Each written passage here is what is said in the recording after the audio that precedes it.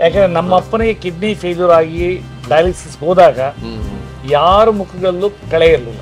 Correct ಅದನ್ನೇ ನಾನು reverse ಮಾಡಿದೆ ರಿವರ್ಸ್ ಮಾಡ್ಬಿಟ್ಟಿದ್ದೀರಾ? ರಿವರ್ಸ್ ಮಾಡಿದ್ದೀನಿ. ಎಲ್ಲ ಡಾಕ್ಯುಮೆಂಟೆಡ್ ಇದು ಈಗ ನನ್ನ ಒಂದು ಆಹಾರ ಪಥ್ಯದಲ್ಲಿ ಮತ್ತೆ ನಾನು ಕೊಡೋ ಒಂದು ಸಪ್ಲಿಮೆಂಟ್ಸ್ ಅಲ್ಲಿ ಹತ್ತು ಪರ್ಸೆಂಟ್ ಒಳಗಡೆ ಇದ್ರೂ ಸಹ ಕಿಡ್ನಿ ಫಿಲ್ಟ್ರೇಷನ್ ರೇಟು ಬರೀ ಒಂದು ಐದರಿಂದ ಆರು ತಿಂಗಳಲ್ಲಿ ಐವತ್ತು ಪರ್ಸೆಂಟ್ ಮೇಲೆ ಹೊರಟೋಗುತ್ತೆ. ಇವತ್ತು ಅಮೆರಿಕದಲ್ಲೂ ನಮ್ಮ ಆಫೀಸ್ ಇದೆ ಕ್ಯಾಲಿಫೋರ್ನಿಯಾದಲ್ಲಿ. ಈಗ ಸೌತ್ ಆಫ್ರಿಕಾದಲ್ಲೂ ಆಫೀಸ್ ಓಪನ್ ಆಗ್ತದೆ.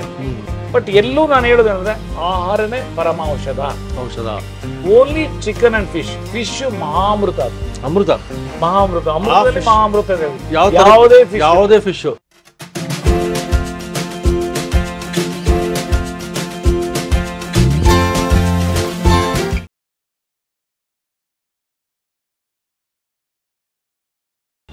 ನಮಸ್ಕಾರ ವೀಕ್ಷಕರೇ. ನೀವು ಡಾಕ್ಟರ್ ಎಸ್ ಎಂ ರಾಜು ಅವರ ಎಪಿಸೋಡ್ಗಳು ನೋಡ್ತಿದ್ದೀರಾ ಭಾಳ ಖುಷಿಯಾಗಿ ಒಳ್ಳೊಳ್ಳೆ ಕಾಮೆಂಟ್ಸ್ ಹಾಕ್ತಿದ್ದೀರಾ, ಧನ್ಯವಾದಗಳು. ಸೊ ಇವತ್ತು ಅವ್ರನ್ನ ಮತ್ತೆ ಮೀಟ್ ಆಗೋಣ. ಇವತ್ತಿನ ಎಪಿಸೋಡಲ್ಲಿ ಒಂದು ಮಹಾ ಭಯಾನಕ ರೋಗ. ಇದು ಯಾರಿಗೂ ಬರಲೇಬಾರ್ದು ಆ್ಯಕ್ಚುಲಿ ಕಿಡ್ನಿ ಪೇಷಂಟ್ಸ್ ಬಗ್ಗೆ ಕಿಡ್ನಿ ಕಾಯಿಲೆ ಬಗ್ಗೆ ಒಳ್ಳೆ ಮಾಹಿತಿ ಕೊಡ್ತಾ ಇದ್ದಾರೆ. ಹಾಗಾಗಿ ನಾವು ಬಂದಿದ್ದೀವಿ. ಈ ಮಾಹಿತಿ ನೀವು ತಗೊಳ್ಳಿ. ಅವ್ರು ಹೇಳೋ ಆಹಾರ ಪದ್ಧತಿಯನ್ನು ಅಳವಡಿಸ್ಕೊಳ್ಳಿ. ಆ ಒಂದು ಪಾಯಿಂಟ್ಸ್ಗಳು ಯಾವ ರೀತಿ ನೀವು ಜೀವನ ಶೈಲಿ ಅಳವಡಿಸ್ಕೋಬೇಕು ಅನ್ನೋದನ್ನು ನೀವು ನೋಡ್ಕೊಳ್ಳಿ. ನಾನು ಕಾಯ್ತಾ ಇದ್ದೀನಿ. ಅವರು ರೆಡಿ ಇದ್ದಾರೆ. ಮಾತಾಡ್ಬಿಟ್ಟು ತಿಳ್ಕೊಳ್ಳೋಣ. ಸರ್ ನಮಸ್ಕಾರ. ನಮಸ್ಕಾರ. ಹೇಗಿದ್ದೀರಿ ಸರ್? ಚೆನ್ನಾಗಿದೆ ತಾವೇಗಿದ್ದೀನಿ ಚೆನ್ನಾಗಿದ್ದೀನಿ ಸರ್. ಗುಡ್ ವೀಕ್ಷಕರೇ ನಾವು ಆಗಲೇ ಹೇಳ್ದಂಗೆ ನಮ್ಮೊಟ್ಟಿಗೆ ಡಾಕ್ಟರ್ ಎಸ್ ಎಂ ರಾಜು ಅವರು ಅದ್ಭುತ ವ್ಯಕ್ತಿ ಅಂತ ಹೇಳಿದ್ದೆ. ನೀವು ನೋಡ್ತಾ ಇದ್ದೀರಾ ಕಾಮೆಂಟ್ಸ್ ಆಗ್ತಾ ಇದ್ದೀರಾ ಒಳ್ಳೆ ಮಾಹಿತಿ ಸಿಗ್ತಾ ಇದೆ ನಿಮಗೆ ಕೂಡ. ಸೊ ನಾನು ಆಗಲೇ ಹೇಳ್ದಂಗೆ ಭಯಂಕರ ರೋಗ. ಇದು ಬರಬಾರ್ದು. ವೈರಿಗೂ ಬರಬಾರ್ದು. ಕಿಡ್ನಿ ವೈಫಲ್ಯತೆ. ಕಿಡ್ನಿ ಸರ್ ಕಿಡ್ನಿ ಪೇಷಂಟ್ಸ್ ಬಗ್ಗೆ ಬಹಳ ಮಾಹಿತಿ ಬೇಕು ನಮಗೆ ಆ್ಯಕ್ಚುಲಿ ಸೊ ಅದ್ರ ಬಗ್ಗೆ ನೀವು ನಮ್ಮ ವೀಕ್ಷಕರಿಗೋಸ್ಕರ ತಿಳಿ really you are a great person kidney ಏನಾದರೂ ಮನೆಯಲ್ಲಿ ಯಾರಿಗಾದರೂ ಫೇಲ್ಯೂರ್ ಆದರೆ ಹಾಂ. ಒಂಥರ ಸಾವು ಮನೆಯಲ್ಲಿ ಯಾರಿಗೂ ಬಂದಿದೆ ಅನ್ನೋಂಗೆ ಎಲ್ಲರ ಮುಖಗಳು ಇದಾಗುತ್ತೆ. ಅದು ನಮ್ಮ ಮನೇಲಿ ಆಗಿತ್ತು ಅದನ್ನ ನಾನು ಹೇಳ್ತಾ ಇದ್ದೀನಿ. ಹೌದು ಹೌದು ಕರೆಕ್ಟ್ ಯಾಕಂದ್ರೆ ನಮ್ಮ ಅಪ್ಪನಿಗೆ ಕಿಡ್ನಿ ಫೇಲ್ಯೂರ್ ಆಗಿ ಡಯಾಲಿಸಿಸ್ ಹೋದಾಗ ಯಾರ ಮುಖಗಳಲ್ಲೂ ಕಳೆ ಇರಲಿಲ್ಲ. ಕರೆಕ್ಟ್ ಎಷ್ಟು ದಿನ ಬದುಕ್ತಾರೋ ಎಷ್ಟಿಲ್ಲ ಅಂತ. ಸೊ ಆವಾಗ ನಮ್ಮಪ್ಪನ ಮೇಲೇ ನಾನು ನೆಫ್ರೋ ನೆಫ್ರೋಲಜಿಸ್ಟ್ ಹೇಳಿದ್ರು ಇದು ವರ್ಲ್ಡಲ್ಲಿ ಸೈನ್ಸ್ ಇಲ್ಲ ಕಿಡ್ನಿಗೆ ಇದಕ್ಕೆ ಇಲ್ಲ ಡಯಾಲಿಸಿಸ್ ಮಾಡಿಸ್ಬೇಕು ಇಲ್ಲ ಅಂದರೆ ಕಿಡ್ನಿ ಟ್ರಾನ್ಸ್ಪ್ಲಾಂಟ್ ಮಾಡಬೇಕು ಅಂತ ಎರಡೇ ಇರೋದು. ಸೊ ಆವಾಗ ನಮ್ಮಪ್ಪನಿಗೆ ಎಪ್ಪತ್ತಾರು ವರ್ಷ ವಯಸ್ಸು. ಸೊ ಅವರು ಹೇಳಿದರು ಡಯಾಲಿಸಿಸ್ ಆದರೂ ನಾಲ್ಕು ವರ್ಷ ಬದುಕಬಹುದು ಕಿಡ್ನಿ ಟ್ರಾನ್ಸ್ಪ್ಲಾಂಟ್ ಮಾಡಿದ್ರು ನಾಲ್ಕು ವರ್ಷ ಬದುಕಬಹುದು ಸೊ ನಾನು ಅಂದ್ಕೊಂಡೆ ನಮ್ಮ ನಾನು ಐ ಎಸ್ ಇದ್ದ ಸರ್ವಿಸಲ್ಲಿ ಇದ್ದಿದ್ದರಿಂದ ಎಲ್ಲ ಡಾಕ್ಟರ್ಸು ತುಂಬ ಚೆನ್ನಾಗಿ ಈಸಿಯಾಗಿ ಆಕ್ಸೆಸಬಲ್ ಇದ್ದರು ಕೇಳಿದ್ರೆ ಏನಿದು ಕಿಡ್ನಿ ಫೇಲ್ಯೂರ್ ಅಂದರೆ ಯಾಕೆ ಏನಾಗ್ತದೆ?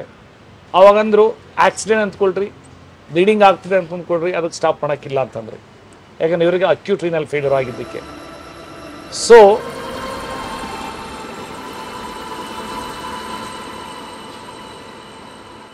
ಅವ್ರು ಏನು ಹೇಳಿದ್ರು ನೆಫ್ರಾಲಜಿಸ್ಟು ಈ ರೀತಿ ಈ ರೀತಿ ಡ್ಯಾಮೇಜ್ ಆಗಿದೆ. ಏನು ಅವರು ಸರ್ ಮಾಡೋಕ್ಕಾಗೋದಿಲ್ಲ ಕಿಡ್ನಿ ಒಂದು ಸರಿ ಡ್ಯಾಮೇಜ್ ಆದರೆ ಮತ್ತೆ ಬೇರೆ ಏನೂ ಮಾಡೋಕ್ಕಾಗಲ್ಲ ಅಂತ ಏನು ನಾನು, ಅವ್ರು ಹೇಳಿದರು. ಆ ವೇಳೆಯಲ್ಲಿ ನನ್ನ ಮೈಂಡಲ್ಲಿ ಬಂತು. ಅದು ಹೇಳಿದರು, ನಾಲ್ಕು ವರ್ಷ ಇರ್ಬೋದು, ಬದುಕಿರ್ಬೋದು ಆವಾಗ ಅವ್ರಿಗೆ ಎಪ್ಪತ್ತಾರು ವರ್ಷ. ಕಿಡ್ನಿ ಟ್ರಾನ್ಸ್ಫರ್ ಮಾಡೋದು ನಾಲ್ಕು ವರ್ಷ ಬದುಕಿರ್ಬೋದು, ಐ ಆ್ಯಂಟಿಬಯೋಟಿಕ್ಸು ಆ ಏಜಲ್ಲಿ ಆಗಲ್ಲ ಅಂತ ಅದು ಹೇಳಿದರು. ಆ ವೇಳೆಲಿ ನನ್ನ ತಲೆಗೆ ಬಂತು, ಯಾಕೆ ಇವ್ರ ಮೇಲೆ ನಾನು ಎಕ್ಸ್ಪೆರಿಮೆಂಟ್ ಮಾಡಬಾರ್ದು ಆವಾಗ ಅವರಿಗೆ ಸೆಲ್ ರೀಜನರೇಷನ್ ಮಾಡೋದಕ್ಕೆ ಯಾವ ಒಂದು ಆಹಾರ ಪದ್ಧತಿ ಕರೆಕ್ಟಾಗಿ ನಾವು ಯೂಸ್ ಮಾಡ್ತು ಅಂತಂದರೆ ಅದು ರಿಜುವಿನೇಷನ್ ಆಗ್ಬೋದು ಅಂತ ನಾನು ತಲೆಗೆ ಇಟ್ಕೊಂಡು, ಆ ವೇಳೆಯಲ್ಲಿ ಈ ಈಸಿಲಿ ಡೈಜೆಸ್ಟಬಲ್ ಪ್ರೋಟೀನ್ ಫಿಶನ್ನು ಪ್ರಯೋಗ ಅವ್ರ ಮೇಲೆ ಮಾಡಿದೆ. ಅದರಲ್ಲೂ ಏನು? ಬೆಳ್ಳುಳ್ಳಿ, ಶುಂಠಿ ಆಮೇಲೆ ಹಸಿಮೆಣಸಿನಕಾಯಿ ಮತ್ತು ಕೊತ್ತಂಬರಿ ಸೊಪ್ಪು ಇವೆಲ್ಲ ಸಹ ಕಿಡ್ನಿ ಪೇಷಂಟ್ಸ್ಗೆ ಅತ್ಯುತ್ತಮವಾದ ಆಹಾರ. ಇದರೆಲ್ಲದೂ ಮೆಡಿಸಿನ್ ಇದೆ. ಮೀನು. ಆ ಅದು ಅನ್ಥಿಂಕಬಲ್ ಇವತ್ತು ಯಾರು ಮೀನು ತಿನ್ನೋದಿಲ್ಲ. ಆ ಒಂದು ಪರ್ಟಿಕ್ಯುಲರ್ ಸಮುದಾಯದಲ್ಲಿ.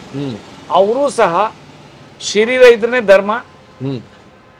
ಆಮೇಲೆ ಆ ಒಂದು ಧರ್ಮದಲ್ಲಿ ಹೇಳಿದೆ ಆಹಾರ ಅಲ್ಲದೆ ಔಷಧಿ ಅಂತ ಏನು ತಗೊಂಡ್ರು ತಗೊಳ್ಬಹುದು ಅಂತ. ಆ ಶ್ಲೋಕ ನನಗೆ ಗೊತ್ತಿಲ್ಲ. ಅವರು ಒಬ್ರು ಜೋಶಿಯರ್ನವರು ಒಬ್ಬರು ಮೇಡಮ್ ನನಗಂದರು. ಅವರ ಹಸ್ಬೆಂಡ್ ಕಿಡ್ನಿ ಫೇಲ್ಯೂರ್ ಆದಾಗ ಇಲ್ಲ ನಾನು ಅವರಿಗೆ ಇದು ಇದು ಮಾಡ್ತೀನಿ ಅಂತ ಇದು ಮೆಡಿಸಿನ್ ಅಂತ. ಸೊ ಆದ್ರಿಂದ ಅದು ನನಗೆ ಈಗಲೂ ತಲೆ ಇದೆ. ಅದರಿಂದ ನಾನು ಹೇಳ್ತಾ ಇರೋದು. ನೋಡಿ. ಸೊ ಒಂದು ತಲೆನಲ್ಲಿರೋ ಕೊಳಕ್ ತೆಗೆದು ಬಿಡಬೇಕು ನನಗೆ ಕಿಡ್ನಿ ಫೇಲ್ಯೂರ್ ಆಗಿದೆ ಇನ್ನು ನಾನು ಬದುಕೋದಿಲ್ಲ ಅನ್ನೋದು ತೆಗಿಬೇಕು. ನಮ್ಮ ಆಹಾರ ಏನು ತಿನ್ನಬೇಕು ಏನ್ ತಿನ್ಬಾರ್ದು. ಅದನ್ನ ಫಾಲೋ ಮಾಡ್ತು ಅಂತಂದ್ರೆ ಜಸ್ಟ್ ಟೆನ್ ಡೇಸ್ ಅಲ್ಲೇ ಅವರಿಗೆ ಇದು ಗೊತ್ತಾಗುತ್ತೆ. ಕಿಡ್ನಿ ಫೇಲ್ಯೂರ್ ಆಗಿದೆ ಅಂತ ಡಾಕ್ಟರ್ಸ್ ಹೇಳ್ತು ಅಂತಂದ್ರೆ ಪಾಪ ಅವ್ರಿಗೆ ಗೊತ್ತಿಲ್ಲ ಇದು ಎಕ್ಸ್ಪೆರಿಮೆಂಟ್ ಆಗಿದೆ ಇದರಿಂದ ಕ್ಯೂರ್ ಆಗೋದೆ ಅಂತ ಎಷ್ಟೋ ಜನ ಗೊತ್ತಿಲ್ಲ. ಇವತ್ತು ಅಲೋಪತಿಕ್ ಡಾಕ್ಟರ್ಸ್ ನನ್ನ ಹತ್ರ ಬಂದು ಟ್ರೀಟ್ಮೆಂಟ್ ತಗೊಳ್ತಾರೆ ಯಾರಿಗೆ ಕ್ರಿಟಿನೈನ್ ಜಾಸ್ತಿ ಆಗಿದೆ ಯಾರು ಡಯಾಲಿಸಿಸ್ ಹೋಗ್ಬೇಕಂತಂದ್ರೆ ಅವರೆಲ್ಲ ತಗೊಳ್ತಾ ಇದ್ದಾರೆ ಬಟ್ ನನ್ನ ಪಾಯಿಂಟ್ ಏನಂದ್ರೆ ಫಸ್ಟ್ ತಲೆನಲ್ಲಿ ಇರೋ ಒಂದು ಆ ಕೆಟ್ಟ ಹುಳ ಅಯ್ಯೋ, ನನಗೆ ಕಿಡ್ನಿ ಫೇಲ್ಯೂರ್ ಆಗಿದೆ. ಯಾರು ಕಿಡ್ನಿ ಕೊಡ್ತಾರೋ ಅಷ್ಟು ದುಡ್ಡು ನನ್ನ ಹತ್ರ ಇಲ್ಲ. ನನಗಿನ್ನು ಹೋಯ್ತಲ್ಲಪ್ಪ ಅನ್ನೋದು ತೆಗಿಬೇಕು. ನಾನು ಏನು ಹೇಳ್ತೀನಿ? ಆಹಾರ. ಏನು ತಿನ್ನಬೇಕು ಏನು ತಿನ್ನಬಾರದು. ಅದನ್ನು ಫಾಲೋ ಮಾಡಬೇಕು. ಮತ್ತು ಯಾವ ರೀತಿ ಅದು ಆಹಾರನ ಮಾಡಬೇಕು? ಅದನ್ನು ಮಾಡಿ, ಅದನ್ನು ಸ್ವಲ್ಪ ಇದು ಇದು ಮಾಡ್ತು ಅಂತಂದರೆ ಫಾಲೋ ಮಾಡ್ತು ಅಂದರೆ, ಬರೀ ಮೂರು ದಿನದಿಂದ ಹತ್ತು ದಿನದ ಒಳಗಡೆನೇ ರಿಸಲ್ಟ್ಸ್ ಬಂದುಬಿಡ್ತೈತೆ. ಆಮೇಲೆ ಬಾರ್ಡರ್ ಲೈನಲ್ಲಿದೆ ಕ್ರಿಯೇಟಿನೈನು ಏನು. ತಲೆ ಕೊಡ್ಸ್ ಕಳ್ಸ್ಕೊಡೋದು ಬೇಕಾಗಿಲ್ಲ ಬರೀ ಆರದಲ್ಲೇ adjust ಆಗೋಗ್ಬಿಡ್ತೈತೆ. Say for example one point five ಒಳಗಡೆ, ಒಂದು ಪಾಯಿಂಟ್ ಐದು ಒಳಗಡೆ ಇರಬೇಕು ಕ್ರಿಯೇಟಿನೈನು ಅದರ ಮೇಲೆ ಹೋಯ್ತು ಅಂದರೆ ಎಲ್ಲರೂ ಹೇಳ್ಬಿಡ್ತಾರೆ, ಓ, ಇನ್ನು ಕಿಡ್ನಿ ಮುಗೀತಿನ್ನ, ಇನ್ನೆಲ್ಲನೂ ನೀವು ಕಿಡ್ನಿಯಿಂದ ಸರಿ ಮಾಡಿಕೊಟ್ರಿ ಅದೆಲ್ಲ ಅಂತ. ಏನೇನೂ ಇಲ್ಲ. ಏನು ತಿನ್ನಬೇಕು ಏನು ತಿನ್ನಬಾರ್ದು. ಅದನ್ನು ಫಾಲೋ ಮಾಡ್ತು ಅಂತಂದರೆ ಆಟೋಮೆಟಿಕಲಿ ಒಂದು ತಿಂಗಳಲ್ಲೇ ಆಲ್ಮೋಸ್ಟ್ ನಾರ್ಮಲ್ ಆಗೋಗ್ಬಿಡ್ತೈತೆ. ಅಷ್ಟು ಪವರ್ ಇದೆ ಆಹಾರದಲ್ಲಿ. ಫಸ್ಟ್ ಆಫ್ ಆಲ್ ಏನು ತಿನ್ನಬಾರದು? ಆಹಾರ. ಅದೇ. ಅದನ್ನು ನಾವು ತಲೆ ಇಟ್ಕೊಬೇಕು. ಏನು? ಎಣ್ಣೆ ಬೆಣ್ಣೆ ತುಪ್ಪ. ಅದು ತಿನ್ಬಾರ್ದು. ಇಷ್ಟು ತಿನ್ಬಾರ್ದು. ಆ ಎಣ್ಣೆ ಬೆಣ್ಣೆ ತುಪ್ಪ. ಬರೀ ಆ ಒಂದು ಪೀರಿಯಡ್ ಅಲ್ಲಿ ಅಷ್ಟೇ ಒಂದು ತಿಂಗಳ ಪೀರಿಯಡ್ ಅಲ್ಲಿ. ಅಲ್ಲ?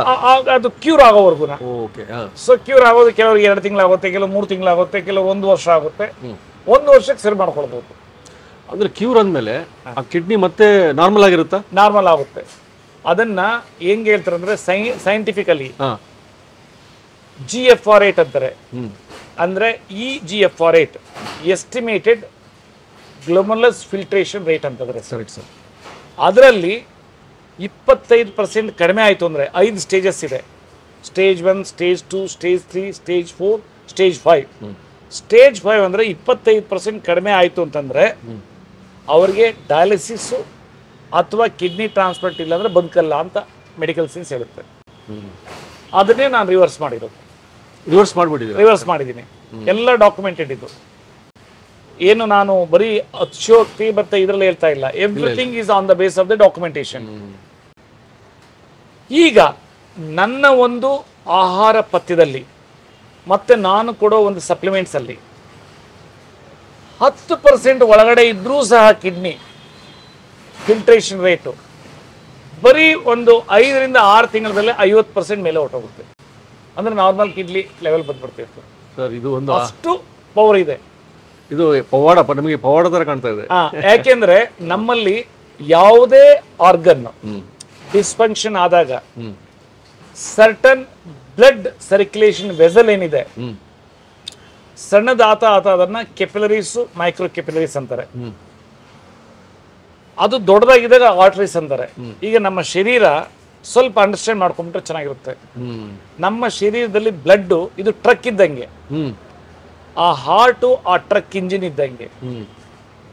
ಈ ಒಂದು ಇಂಜಿನ್ನು ಆ ಟ್ರಕ್ಕನ್ನು ಪುಷ್ ಮಾಡ್ತೈತೆ. ಎರಡು ರೂಟ್ ಕೊಟ್ಟಿದ್ದಾರೆ ದೇವರು. ಒಂದು ರೂಟಲ್ಲಿ ಒಳ್ಳೆ ಸಾಮಾನು ಎತ್ಕೊಂಡು ಹೋಗೋದು ಟ್ರಕ್ ಇನ್ನೊಂದು ರೂಟಲ್ಲಿ ಮುನ್ಸಿಪಾಲಿಟಿ ಟ್ರಕ್ಸ್ ಗಲೀಜು ಎತ್ಕೊಂಬರೋದು ಎರಡು ಮಿಕ್ಸ್ ಇಲ್ಲ.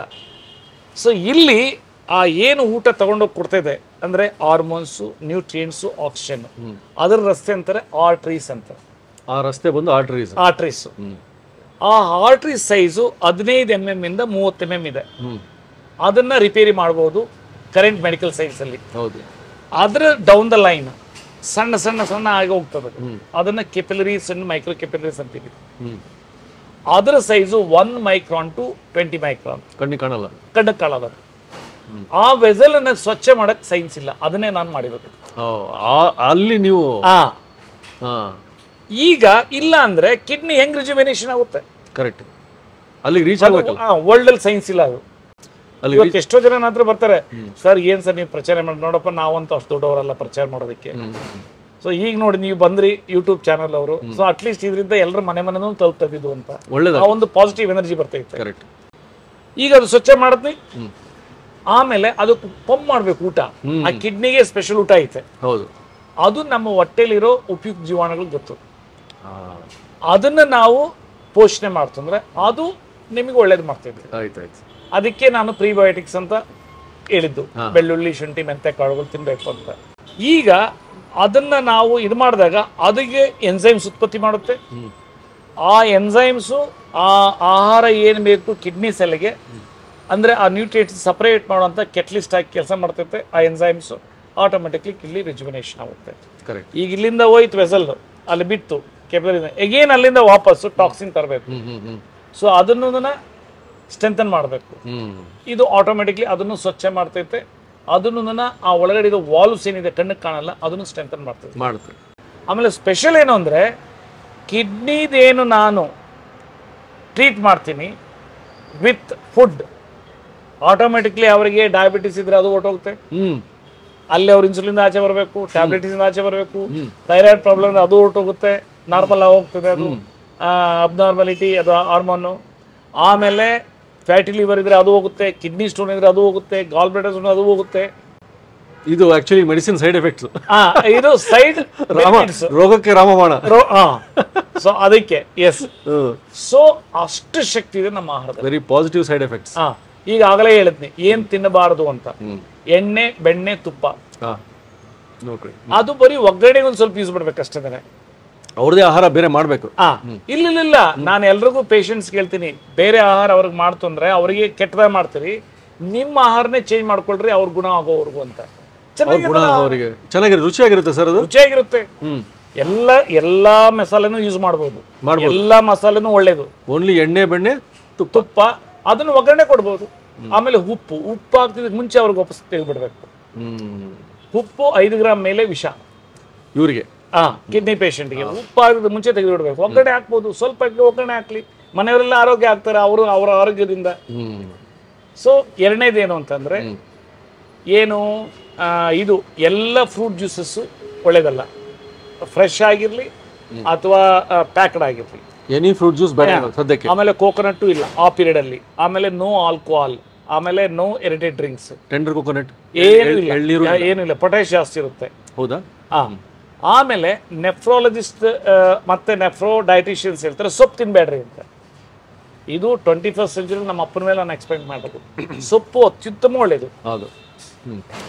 ಸೊಪ್ಪಲ್ಲಿ ಕ್ಯಾಲ್ಸಿಯಂ ಇರ್ತದೆ ಆಮೇಲೆ ಅದರಲ್ಲಿ ಈಸಿಲಿ ಡೈಜೆಸ್ಟಬಲ್ ಪ್ರೋಟೀನ್ ಇದೆ. ಸೊ ಅದನ್ನು ಚೆನ್ನಾಗಿ ತಿನ್ನಬೇಕು ಸೊಪ್ಪು ಮತ್ತು ತರಕಾರಿನ. ಅದು ಏನು ನಾರ್ಮಲ್ಲಾಗಿ ಮಾಡಿಕೊಂಡು ತುಪ್ಪ ಮುಂಚೆ ತೆಗೆದುಬಿಡಬೇಕು. ಆಮೇಲೆ ಮೋಸ್ಟ್ ಇಂಪಾರ್ಟೆಂಟ್ ಏನು ಅಂತಂತಂದ್ರೆ ಏಕದಳ ಧಾನ್ಯ. ಇದರಲ್ಲಿ ಮಿಲೆಟ್ಸ್ ತಿನ್ನಬಾರ್ದು ಅಂದರೆ ರಾಗಿ ತಿನ್ನಬಾರ್ದು ಆಮೇಲೆ ಬಾಜ್ರ ಆಮೇಲೆ ಸಿರಿಧಾನ್ಯ ತಿನ್ನಬಾರ್ದು ಅದರಲ್ಲಿ ಹೈಯೆಸ್ಟ್ ಪೊಟ್ಯಾಶ್ ಇರುತ್ತೆ. ಆಮೇಲೆ ಅದು ಇದಾಗಲ್ಲ. ಆಮೇಲೆ ಅನ್ನ ಮತ್ತು ಜೋಳ ಮತ್ತು ಏನು ಗೋಧಿ ತಿಂತೀವಿ ಅದನ್ನೂ ಸಹ ಇಪ್ಪತ್ತೈದು ಪರ್ಸೆಂಟ್ ಮೇಲೆ ತಿನ್ನಬಾರ್ದು ಯಾಕೆಂದರೆ ಅದರಲ್ಲಿ ಹದಿನೈದು ಪರ್ಸೆಂಟ್ವರೆಗೂ ಪ್ರೋಟೀನ್ ಇರ್ತದೆ. ಆ ಪ್ರೋಟೀನು ಮತ್ತೆ ನನಗೆ ಪ್ರಾಬ್ಲಮ್ ಆಗುತ್ತೆ. ಜಾಸ್ತಿ ಆಗುತ್ತೆ. ಕ್ರಿಯೇಟಿನಿನ್ ಏನೇನು? ಅದು ಪ್ರೋಟೀನ್ ಎಂಡ್ ಪ್ರಾಡಕ್ಟ್ ಅದನ್ನು ನಾವು ಕಂಟ್ರೋಲ್ ಮಾಡಿಬಿಟ್ರೆ ಇಂಡೈಜೆಸ್ಟಿಬಲ್ ಪ್ರೋಟೀನ್ಸ್ ಎಲ್ಲದನ್ನ ಸೊ ಆಟೋಮೆಟಿಕ್ಲಿ ಬಾಡಿ ಕರೆಕ್ಟಾಗಿ ಬ್ಯಾಲೆನ್ಸ್ ಆಗುತ್ತೆ ಎಲ್ಲ ಬ್ಯಾಲೆನ್ಸ್ ಆಗಿ ನಾರ್ಮಲ್ ಆದಾಗ ಆಟೋಮೆಟಿಕ್ಲಿ ಅವರು ನಾರ್ಮಲ್ ಫುಡ್ ಏನು ಬೇಕೋ ತಿನ್ಬೋದು. ಸೊ ನಿಮ್ಮ ಫಾದರ್ ಕ್ಯೂರ್ ಆದ್ರು ಸರ್ ಆಮೇಲೆ? ಹಂಡ್ರೆಡ್ ಪರ್ಸೆಂಟ್ ಕ್ಯೂರ್ ಆದರೂ ಅವರು ಏಯ್ಟಿ ಸಿಕ್ಸ್ ಬರ್ತ್ಡೇನಲ್ಲಿ ಅವರಿಗೆ ಸ್ವಲ್ಪ ಆಲ್ಕೋಹಾಲ್ ತಗೊಳ್ಳೋ ಅಭ್ಯಾಸ. ನಾನು ತರ್ಟಿ ಎಂ ಎಲ್ ರೆಸ್ಟ್ರಿಕ್ಟ್ ಮಾಡಿದ್ದೆ. ಆವತ್ತು ಆ ಪಾರ್ಟಿನಲ್ಲಿ ಬರ್ತ್ಡೇ ಪಾರ್ಟಿನಲ್ಲಿ ನಾನು ಈ ಕಡೆ ಕಡೆ ಓಡೋ ಹೊತ್ತಿನಲ್ಲಿ ಯಾರೇನು ಜಾಸ್ತಿ ಕೊಡೋದು ಅದರಿಂದ ಪ್ರಾಬ್ಲಮ್ ಆಗಿ ಒಂದು ನಾಲ್ಕೈದು ತಿಂಗಳಲ್ಲಿ ಮೈಲ್ಡ್ ಸ್ಟ್ರೋಕ್ ಆಗಿ ಅವರು ಇದಾದರು. ಸರಿ. ಅದರ್ವೈಸ್ ಹತ್ತು ವರ್ಷ ಇದೆ ಇವತ್ತು ಅವರಿಂದ ಇವತ್ತು ವರ್ಲ್ಡ್ಗೆ ನಾನು ಟ್ರೀಟ್ ಮಾಡ್ತಾ ಇದ್ದೀನಿ. ಇವತ್ತು ಅಮೇರಿಕಾದಲ್ಲೂ ನಮ್ಮ ಆಫೀಸ್ ಇದೆ ಕ್ಯಾಲಿಫೋರ್ನಿಯಾದಲ್ಲಿ ಈಗ ಸೌತ್ ಆಫ್ರಿಕಾದಲ್ಲೂ ಆಫೀಸ್ ಓಪನ್ ಆಗ್ತದೆ. ಬಟ್ ಎಲ್ಲೂ ನಾನು ಹೇಳೋದಂದ್ರೆ ಆಹಾರನೇ ಪರಮ ಔಷಧ. ಔಷಧ. ಇಷ್ಟು ಟ್ಯಾಬ್ಲೆಟ್ಸ್ ಇರ್ತದೆ ನಮ್ಮ ಅಪ್ಪನ ಕೊಡ್ತಾ ಇದ್ರು. ಅವೆಲ್ಲ ತೆಗೆದ್ಬಿಟ್ಟು ಎಕ್ಸ್ಪೆರಿಮೆಂಟ್ ಮಾಡಿದ್ರು. ಬಿ ಪಿದು ಶುಗರ್ ಬಿಟ್ಟರೆ ಏನು ಮಾತ್ರೆಗಳು ತಗೊಳ್ಳೋದೇನು ಬೇಕಾಗಿಲ್ಲ ಅಂತ ಕಿಡ್ನಿ ಮಾತ್ರ ತೆಗೆದುಬಿಟ್ಟು ನೀವು ನಿಮ್ಮ ಸಪ್ಲಿಮೆಂಟ್ ಕೊಟ್ಟಿದ್ದು. ಹಾ ಎಲ್ಲ ತೆಗೆದುಬಿಟ್ಟು. ಹ್ಮ್. ಇವತ್ತು ನನ್ನ ಹತ್ರ ಬಂದವರು ವೆರಿ ಫಾಸ್ಟ್ ರಿಸಲ್ಟ್ ಬರ್ಬೇಕಂತಂದ್ರೆ ಮಾತ್ರೆಗಳನ್ನ ಬರೀ ಬಿ ಪಿ ಶುಗರ್ ಅಷ್ಟೇ ಇಟ್ಕೊಡ್ರಿ ಅಂತ ನಾನು ಹೇಳೋದು. ಕರೆಕ್ಟಾ ಬಿ ಪಿ ಶುಗರ್ ಬೇರೆದೇನಿದೆ? ಸೋಡಿಯಂ ಟ್ಯಾಬ್ಲೆಟ್ಸ್ ಇದೆ ಕ್ಯಾಲ್ಸಿಯಂ ಟ್ಯಾಬ್ಲೆಟ್ಸ್ ಇದೆ vitamin D vitamin B twelve ಆಮೇಲೆ ಗ್ಯಾಸ್ಟ್ರಿಕ್ ಟ್ಯಾಬ್ಲೆಟ್ಸ್ ಇದೆ ಆಮೇಲೆ ಬ್ಲಡ್ ಥಿನ್ನರ್ ಇದೆ ಯೂರಿಕ್ ಆಸಿಡ್ ಟ್ಯಾಬ್ಲೆಟ್ ಇದೆ ಆಮೇಲೆ ಕೊಲೆಸ್ಟ್ರಾಲ್ ಟ್ಯಾಬ್ಲೆಟ್ ಇದೆ. ಸೊ ಇವೆಲ್ಲನೂ ಕಿಡ್ನಿ ಮೇಲೆ ಪ್ರೆಷರ್ ಆಗಿ ಇನ್ನೂ ಕಿಡ್ನಿ ಡಿಟ್ರೋಟ್ ಆಗುತ್ತೆ. ಹೌದು. ಕರೆಕ್ಟ್ ಈ ಎರಡು ಟ್ಯಾಬ್ಲೆಟ್ ಯಾಕಂದ್ರೆ ಎಲ್ಲ ಆಹಾರದಲ್ಲೇ ಇದೆಯಲ್ಲ? ಎಲ್ಲ ಮನೆ ಮದ್ದಿನಲ್ಲೇ ಮನೆ ಮನೆಯಲ್ಲಿ ಏನು ಆಹಾರ ಇದೆ ಅದೇ ಔಷಧಿ. ಅದೇ ನನ್ನ ಮನಸ್ಸಲ್ಲಿ ಒಂದು ಬಂತು ಇವಾಗ. ಅದು ವೀಕ್ಷಕರಿಗೂ ಬರುತ್ತೆ. ನಿಮ್ಮ ತಂದೆಯವರು ಇದು ಕುಡಿತಿದ್ರು ಅಂದ್ರೆ alcohol alcohol thirty M L ಹಂಗೆ. ಕ್ಯೂರ್ ಆದ್ಮೇಲಿನೂ ಅವರು ಮತ್ತೆ ಶುರು ಮಾಡಿದ್ರು. ನನಗೇನು ಚೆನ್ನಾಗಿದ್ರೆ ಎಲ್ಲ ಪ್ಯಾರಾಮೀಟರ್ ಚೆನ್ನಾಗಿದೆ during the period of treatment ಇಲ್ಲ ಹಂಡ್ರೆಡ್ ಪರ್ಸೆಂಟ್ ಇಲ್ಲ. ಹಂಡ್ರೆಡ್ ಪರ್ಸೆಂಟ್ ಅದು 100% ಆಲ್ಕೋಹಾಲ್ ಇಲ್ಲ. ಅವ್ರು ನಾರ್ಮಲ್ ಆಗೋಯ್ತು. ಕ್ರಿಯೇಟಿನೈನ್ ಅವ್ರದ್ದು ಲೆವೆನ್ ಪಾಯಿಂಟ್ ಫೈವ್ ಇದ್ದಿತ್ತು. Normal one point three one point four ಬಂತು. ಒಂದು ಪಾಯಿಂಟ್ ನಾಲ್ಕು ಬಂತು. ಈಗ ಕ್ಯೂರ್ ಆದ್ಮೇಲೆ what is the limit of alcohol intake for our viewers ಹೇಳಕ್ಕೆ? ಸಿ ನನ್ನ ಪ್ರಕಾರ ಅರವತ್ತು ಎಂ ಎಲ್ ಮೇಲೆ ತಗೊಳ್ಬಾರ್ದು. ಮೂವತ್ ಮೂವತ್ತು ಎಂ ಎಲ್ ಎರಡು ತಗೊಂಡ್ರೆ ಅಥವಾ ಸಣ್ಣ ಬಿಯರು ಮುನ್ನೂರ ಎಂ ಎಲ್ ತಗೊಂಡ್ರೆ ನನ್ನ ನಮ್ಮಪ್ಪನ ಮೇಲೆ ನಾನು ಎಕ್ಸ್ಪೆರಿಮೆಂಟ್ ಮಾಡೋದು. ಓಕೆ ಸೊ ಯಾಕಂದ್ರೆ ನಮ್ಮ ಅಪ್ಪಗೆ ಏನೋ ಎಂಜಾಯ್ ಮಾಡ್ಬೇಕಂತ. ಆಮೇಲೆ ಫ್ರೀಕ್ವೆನ್ಸಿ ಫ್ರೀಕ್ವೆನ್ಸ್ ಏನು ವಾರಕ್ಕೆ ಒಂದು ಸರಿ ಎರಡು ಸರಿ ಅಥವಾ ಮೂರು ಸರಿ ಬ್ಲಡ್ ತಿನ್ನರ್ ಆಗಿ ಕೆಲಸ ಮಾಡ್ತಿದ್ದೆ.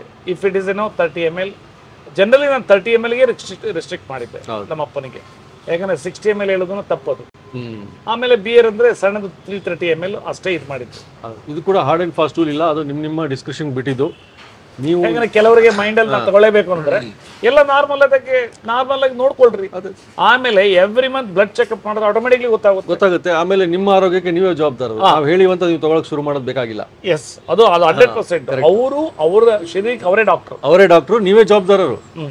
ಒಳ್ಳೇದಾಗ್ಬೇಕು ಅಂದ್ರೆ ಸರ್ ಹೇಳಿದೆಲ್ಲ ಒಳ್ಳೇದನ್ನ ಆಮೇಲೆ ಮಟನ್ ತಿನ್ನಬಾರ್ದು ಪೋರ್ಕ್ ತಿನ್ನಬಾರ್ದು ಬೀಫ್ ತಿನ್ನಬಾರ್ದು ಡ್ಯೂರಿಂಗ್ ಟ್ರೀಟ್ಮೆಂಟ್ ಆ only chicken and fish fish ಮಹಾಮೃತ ಅದು. ಅಮೃತ. ಮಹಾಮೃತ. ಅಮೃತದಲ್ಲಿ ಮಹಾಮೃತ ಯಾವುದೇ ಫಿಶ್ ಯಾವುದೇ ಫಿಶ್ ಆದ್ರೆ ಅದನ್ನ ಎಣ್ಣೆಯಲ್ಲಿ ಫ್ರೈ ಮಾಡಬಾರ್ದು.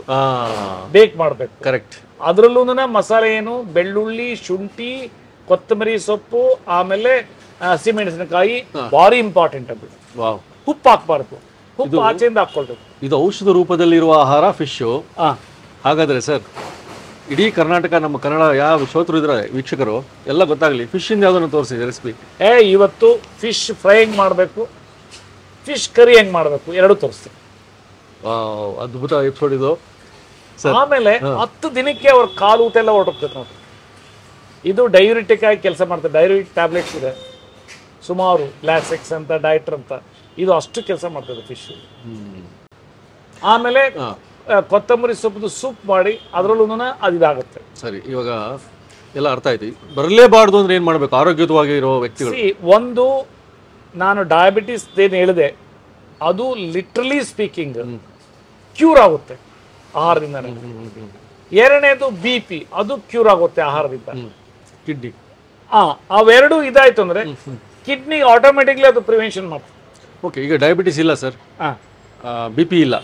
ಅವ್ರಿಗೆ ಕಿಡ್ನಿ ಪ್ರಾಬ್ಲಮ್ ಬರಲ್ಲ? ಹಂಡ್ರೆಡ್ ಪರ್ಸೆಂಟ್ ಬರೋದಿಲ್ಲ. ಹಾಂ. ಅದರಲ್ಲಿ ಒಂದು ಎರಡಿದೆ ಒಂದು ಪಾಲಿಸಿಸ್ಟಿಕ್ ಕಿಡ್ನಿ ಅಂತ ಜೆನೆಟಿಕಲಿ ಬರ್ತದೆ. ಹೌದು. ಪಾರಂಪರಿಕ. ಜೆನೆಟಿಕಲಿ ಆ ಅದಕ್ಕೂ ಒಳ್ಳೆ ಚೆನ್ನಾಗಿ ಸೊಲ್ಯೂಷನ್ ಇದೆ ಎಲ್ಲ ಕಡೆ ಆಮೇಲೆ ಇನ್ನೊಂದು ಐ ಜಿ ಎನ್ ಎಪ್ರೋಪತಿ ಅಂತ ಬರ್ತದೆ. ಒಂಥರ ಅದು ಬ್ಯಾಡ್ ಪ್ರೋಟೀನ್ ಉತ್ಪತ್ತಿ ಆಗುತ್ತೆ. ಒಂದೊಂದು ಟೈಮ್. ಸೊ ನಮ್ಮ ಆಹಾರದಲ್ಲಿ ನಾನೇನು ಹೇಳ್ತೀನಿ?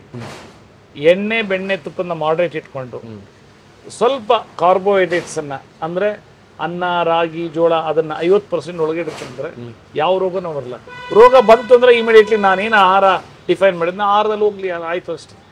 ನಾನು ಯಾವತ್ತೂ ಹೇಳಲ್ಲ ನನ್ನ ಮಾಡಿರೋದು ಸಪ್ಲಿಮೆಂಟ್ ಔಷಧಿ ಅದು ತಗೊಳ್ರಿ ಅಂತ ಹೇಳಲ್ಲ. ಫಸ್ಟ್ ಆಹಾರದಲ್ಲೇ ಇದೆ ಆಹಾರನೇ ಮಹಾ ಔಷಧಿ ಅಂತ ಹೇಳಿ. ರೈಟ್ ಸರ್ ಸೊ ಹಾಗಾದ್ರೆ ನಮ್ಮ ವೀಕ್ಷಕರಿಗೆ ನಿಮ್ಮ ರೆಸಿಪಿ ನೋಡೋಕೆ ಒಂದು ಕುತೂಹಲ ಇವಾಗ. ನೋಡ್ಬಿಡೋಣ ಸರ್ ಓಕೆ ಹಾಂ? ವೀಕ್ಷಕರೇ ನೋಡಿದ್ರಲ್ಲ, ಕಿಡ್ನಿಗೆ ಆರೋಗ್ಯತ್ವ ಇರೋದಕ್ಕೋಸ್ಕರ ನಾವು ಒಂದು ರೆಸಿಪಿ ಸರ್ ಕಂಡಿಡಿದ್ದಾರೆ ಒಳ್ಳೆ ಫಿಶ್ ರೆಸಿಪಿ ತೋರಿಸ್ತಾರೆ ಮುಂದಿನ ಎಪಿಸೋಡಲ್ಲಿ ನೋಡ್ಬಿಡೋಣ. ಈಗ ನೀವು ಮಾಡಬೇಕಾಗಿದೆ ಅಷ್ಟೇ. ಆ ರೆಸಿಪಿಗೋಸ್ಕರ ಕಾಯಿರಿ, ಅಲ್ಲಿವರೆಗೆ ಲೈಕ್ ಮಾಡಿ ಶೇರ್ ಮಾಡಿ. ಈ ಎಪಿಸೋಡನ್ನು ಸಾಕಷ್ಟು ಶೇರ್ ಮಾಡಿ. ಎಲ್ಲರಿಗೂ ಗೊತ್ತಾಗಲಿ, ಮಾಹಿತಿ ಚೆನ್ನಾಗಿದೆ?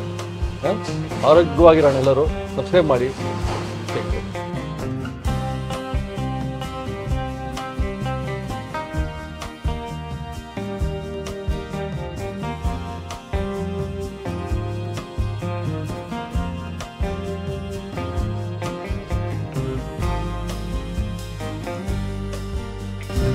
ಅನೇಕ ಸ್ವಾದಿಷ್ಟ ರೆಸಿಪಿಗಳಿಗಾಗಿ ಸಬ್ಸ್ಕ್ರೈಬ್ ಮಾಡುವುದನ್ನು ಮರೆಯಬೇಡಿ.